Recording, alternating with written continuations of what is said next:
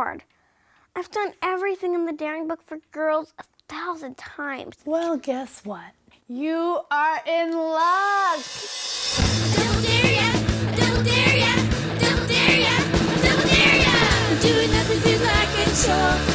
Television is such a bore. Giving shiny